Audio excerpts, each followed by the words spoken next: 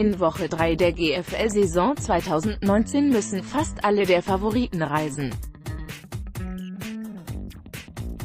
Die drei souveränen Sieger des letzten Spieltags im Norden sind auswärts am Start, in der GFL Süd fährt Frankfurt Universe zum Hessen-Derby nach Marburg. Lediglich Meister Schwäbisch Hall Unicorns bildet die Ausnahme und will seinen dritten Saisonsieg auf eigenem Platz gegen München einfahren. Meistgelesene Artikel Fußball, Bundesliga Kovac, ich lag wieder richtig, Fußball, Europa League Starshop mit Geschichte. Basketball Griechischer Basketball in Trümmern. Fußball, Champions League. Das Millionenopfer wird zum Heldenfußball, Champions League. Mourinho zerpflückt Ajax Taktik dort. Und bei vielen anderen GFL-Teams gab es diese Woche aber Schwerstarbeit in der Videoanalyse vor allem bei den Trainern der Verteidigung. Letzten Samstag trumpften einige der Neuerscheinungen unter den GFL-Quarterbacks auf Anhieb mit starken Statistiken auf. Hildesheim Quarterback stellte Rekorde auf ebenso wie Rückkehrer Kasai Terrio, der sich mit den Hildesheim Invaders anschickt, seinem Ex-Team und großen Nachbarn der Invaders, den New Yorker Lions in Braunschweig, die Vormachtstellung im Norden streitig zu machen. Mit 475 Yards durch Pässen übernahm er nicht nur auf Anhieb die Führung in den Quarterback-Statistiken.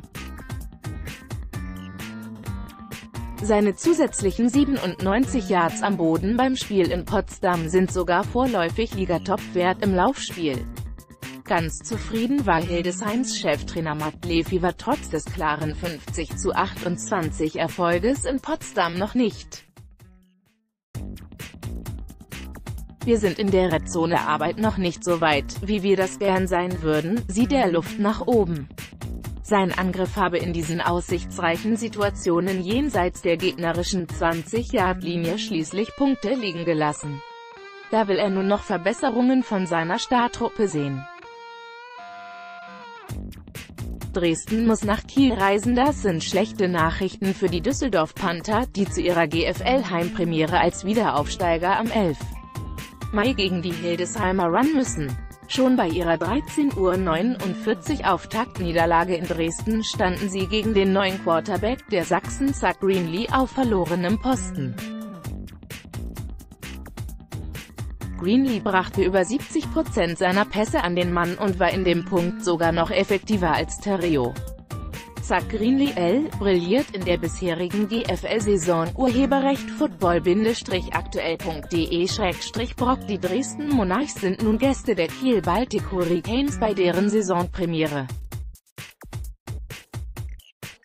Über ein knappes Jahrzehnt waren diese Aufeinandertreffen die meist hart umkämpften Duelle um Platz 2 oder manchmal gar Rang 1 im Norden. Nachdem die Ostsee-Footballer im letzten Jahr Schiffbruch erlitten, klar die Playoffs verpassten und sich vor dieser Saison personell auf vielen Positionen neu aufstellen mussten, wird es für sie gleich ein kleines Schicksalsspiel. Wollen sie wieder zurück in die Spitzengruppe, wird dies kaum ohne einen Heimsieg gegen Dresden klappen. Schaffen die Cowboys den Coup gegen die Unicorns. Ein weiterer neuer Quarterback, der neben Terrio und Greenlee letzte Woche mit 455 Yards und 4 Touchdown-Pässen begeisterte, war Münchens Brady Bolles. 2016 war er bei den Toronto Argonauts in der kanadischen Profiliga CFL unter Vertrag, im Zusammenspiel mit Jalen Zachary, der 17 Pässe für 234 Yards und 3 Touchdowns fing, bringt er nun den Passangriff der Munich Cowboys in Schwung. Mit diesen zwei Spielern haben sich die Cowboys in der Offensive klar gegenüber dem Vorjahr verbessert, sagt Jordan Neumann, Head Coach der Schwäbisch Hall Unicorns, die am Samstag Gastgeber für die Münchner sind. In der Defense brauchen wir noch mehr Druck gegen das Laufspiel. Die Rückraumverteidigung hat gegen die Dukes gut gespielt, bekommt diese Woche mit Bolles im Zusammenspiel mit den starken Receivern, Zachary und Kai Silbermann aber eine schwierigere Aufgabe, warnt er. Anders als bei den beiden ersten Meistertiteln der Unicorns 2011 und 2012 basierten deren Championships in den letzten beiden Jahren jedoch gerade auf den Leistungen der Defense. Immer wieder versuchten Teams der GFL Süd diese mit Fokus auf das Passspiel auszuhebeln. Immer wieder scheiterten sie krachend, zuletzt 2018 etwa die Allgäu Comets. Ob die Münchner es besser machen und die Sensation schaffen können. Heißes Duell in Stuttgart nach ihrem Remis gegen Kirchdorf würde es helfen, denn die Erwartungen, dass in der GFL Süd hinter Schwäbisch Hall und Frankfurt zwischen Platz 3 und 8 alles möglich ist, scheinen sich zu bestätigen.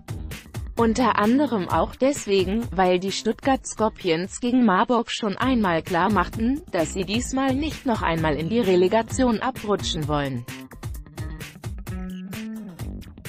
Ebenso wie ihr Gegner an diesem Sonntag die Kirchdorf Wildcats. Die waren es schließlich, die trotz des Passgewitters von Bolles und Zachary letzte Woche frech einen Punkt aus München mit nach Hause brachten. 2018 hatten sie auch die Scorpions zu Beginn verblüfft. So geht es unter dem Stuttgarter Fernsehturm nun vielleicht zwar nicht um die Spitze, Dafür könnte aber dort ebenso wie im Berlin-Brandenburger Duell zwischen Berlin und Potsdam das Spannungsmoment am höchsten sein. Die GFL auf Sport 1 powered by Football aktuell Let's Block Ads. Why?